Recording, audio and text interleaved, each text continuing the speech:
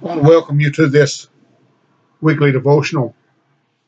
I want us to think for just a moment that there are many times that we look at change and, and it is something that we willingly accept, it's something that we want.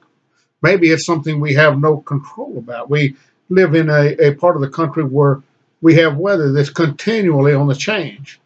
And as much as we may not like the wind or we may not like the hot, hot, dry weather and we would like to have rain or we would like to have many of these things, we have no control over that change.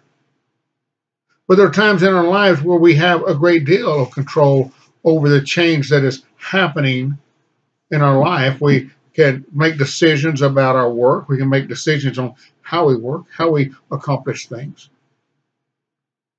But there's a portion of life that as we become a child of God, it comes with change. And sometimes that change is difficult.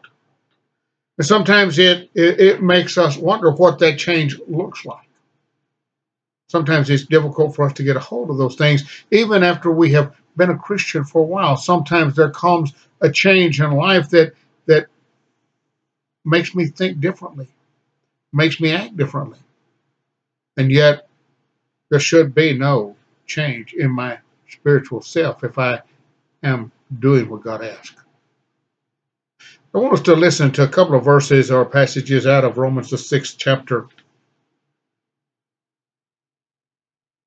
The first one talks about the first part of this change. He said, What shall we say then? Are we to continue in sin that grace may abound? By no means. How can we who died to sin still live in it. Do you not know that all of us who have been baptized into Christ Jesus were baptized into his death? We were buried, therefore, with him in baptism into death, in order that just as Christ was raised from the dead by the glory of the Father, we too might walk in newness of life. Right here, he says there is a change, a vast change, a change from from uh, the old way to the new way, a change that occurs through a spiritual death. In other words, in dying to sin. He said, You can't any longer live in that sin. So after it becomes difficult to uh, uh, ascertain what that sin is, or what some sin is. We're, we're bombarded with things in the world.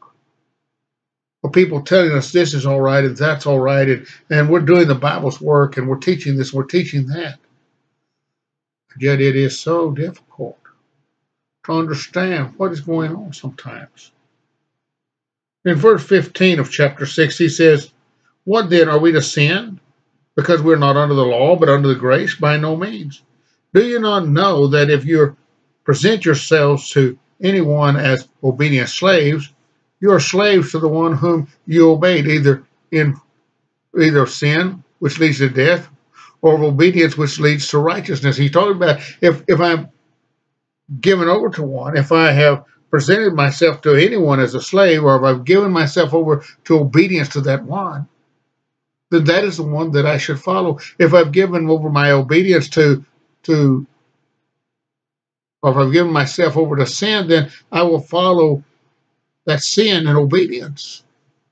I'll follow the way it leads me.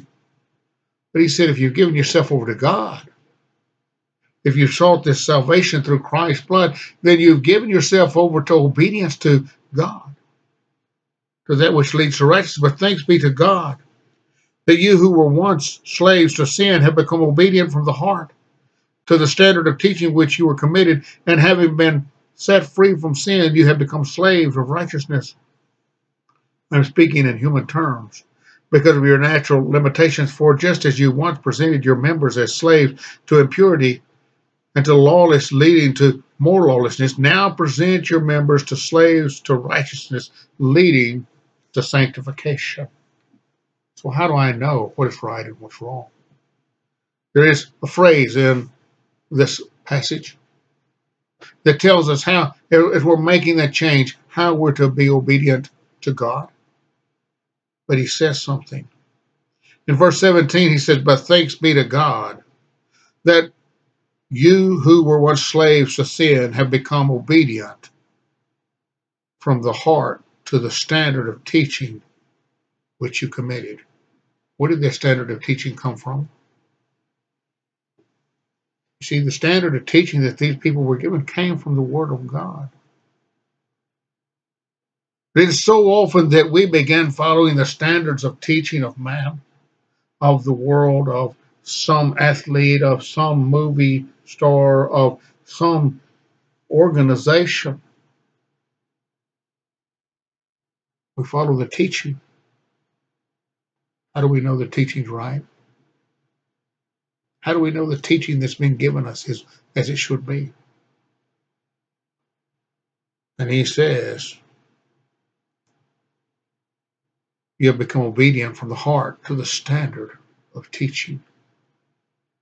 If we've been taught, if we've been shown this salvation through the teaching of the Word of God, we must go to the Word of God to seek the standard, to know what the standard is, to know what God has said is right and wrong, to know what God's will is, to know what God seeks us to do, and how he seeks us to live. Not by man standards, not by organization standards, not by uh, not by a movie star or an athletic standards, but by the standard that God has set. Let's think about that this week as we go about our life. That that we're not looking at change. We're looking at something that that never changes. The standard of God is set. That's the way it is. See, when we become a Christian, once we begin to follow Christ and seek His way and follow the standard that He has set, there is no changing that standard. It's God's standard. We need to stop looking at men. We need to stop listening to things. And as we hear, or maybe we need to start listening to things, and as we hear them, go and check them against the against the standard that God has set. Don't take a portion of the word and and let man change it to fit his needs.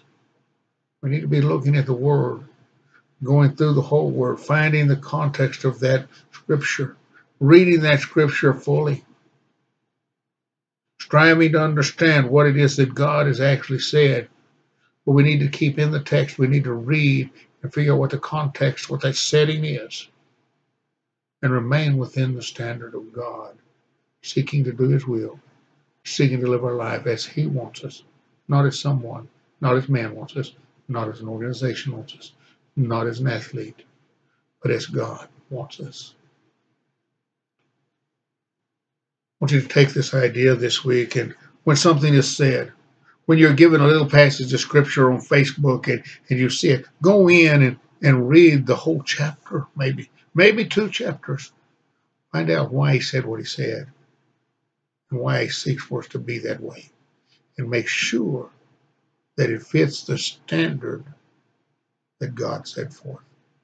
I want to thank you so much for being here today.